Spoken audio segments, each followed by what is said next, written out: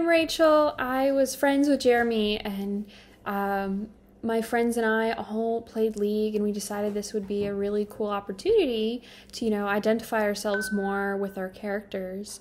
Um, I chose Sejuani just because she's one of my favorites to play, and I, I really identify with her as I I play polo, so it, it's pretty similar to her, um, as well as uh, she seems to be more of like an independent and strong character, which I try to be.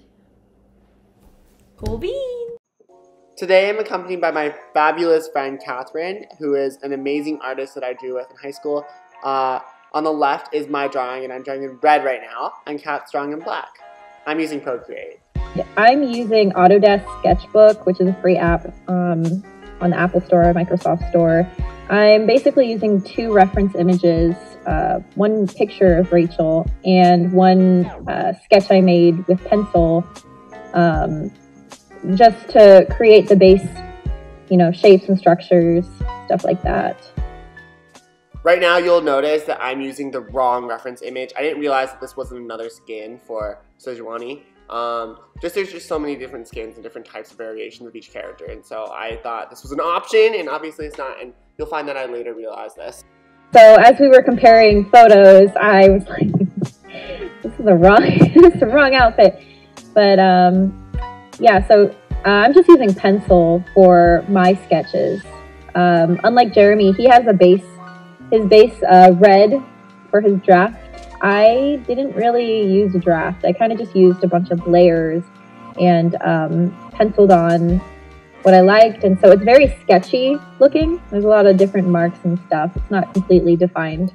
But what I like about that is that actually because Kathryn used such thin lines, that the sketchiness doesn't really, it's not thick, it's not super obvious at first, and it's kind of subtle. I And I like um, how this all kind of ties together and creates this really um, like it, it, almost looks like a paper map, hand drawn, classical drawing, and I I like how she's done this, and it's got an interesting effect.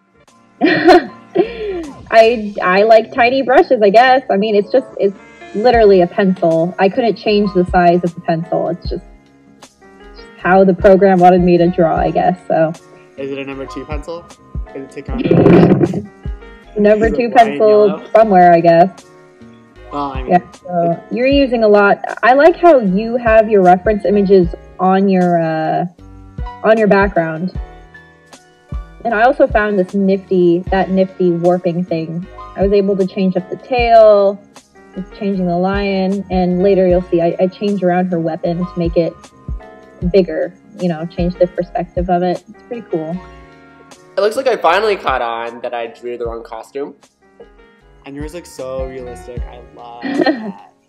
oh, yes. Yeah, so when I did uh, trace Rachel, or I did take that reference picture and I really wanted her face on there, like to look like her, and same as her uh, body proportions. So I did trace or outline um, what she looked like, and then I added everything else on top just to get it as realistic as possible.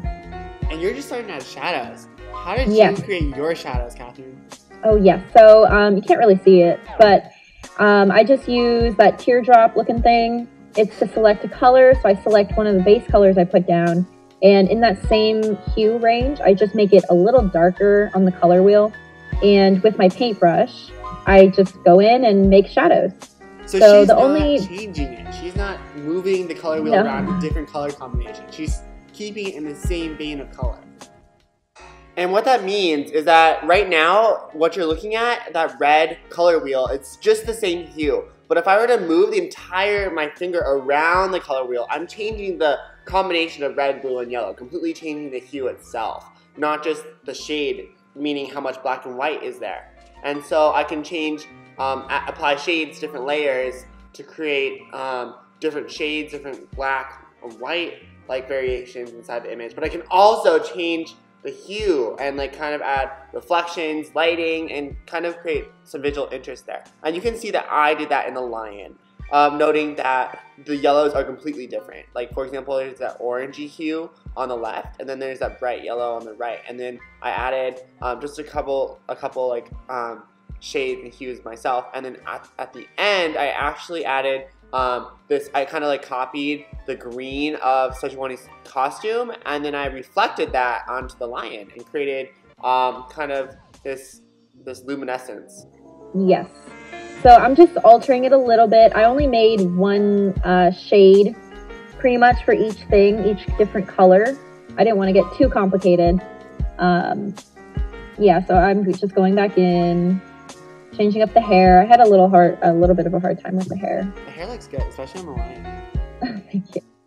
So on the pants, you see all those um, little dots. I actually used a brush for that on Procreate. I tapped the brush button and then clicked rosette. And so I'm using the rosette brush to create that. And that saved me a lot of work um, creating all those textures for me. And I just think as I'm experiencing Procreate and getting more experience with this, I'm exploring more brushes. And I think it was really helpful at first that I only used one because it simplified things a lot more. Notice how I'm actually just drawing the boxes with a marker brush, so it's a little bit transparent and then going back over it to create value, whereas Kat actually drew the chain herself, which is a lot of work, and honestly, that's, that's a labor of love. And so both of us are just finishing up our drawings, um, and we're just about ready to present these to Rachel. Yeah, so while we're at it, um, go ahead and like, subscribe, and share my videos if you appreciate my content and want to support my learning. Um, I just so appreciate um, everybody out there. This has been so amazing, and I'm so happy I can do this. All right, so this is Rachel. Look away real quick. We're gonna pull up um, Jeremy's first. All right, Rachel, you can look at it. It's cute. The, the lion looks so angry. He looks like an old man. yeah. He looks, yeah, I guess. He does look very angry. It's cute. How do you think he portrayed you? Too happy. I'm not happy. All right. Yes, I think okay. it works. Okay, and now close your eyes again. I'm gonna pull up my drawing. All right. Yeah, you got my face very stoic. I like that one. Oh, he's got multiple co- eyes. Mm-hmm. Is that how it was in the actual skin? Yep, he has two different eyes. Jeremy also did that over here. Oh, I didn't notice that. Yeah, because he has yellow here. I think that's pretty cool. Yeah. I like I like him. You like him? Are you Mhm. satisfied? Yes. You know, it, it reaches to my inner polo playing soul. I like how Jeremy had a lot more emotion with his, like his swinging as well. Mine was Mhm. kind of like just, hey, I'm holding it.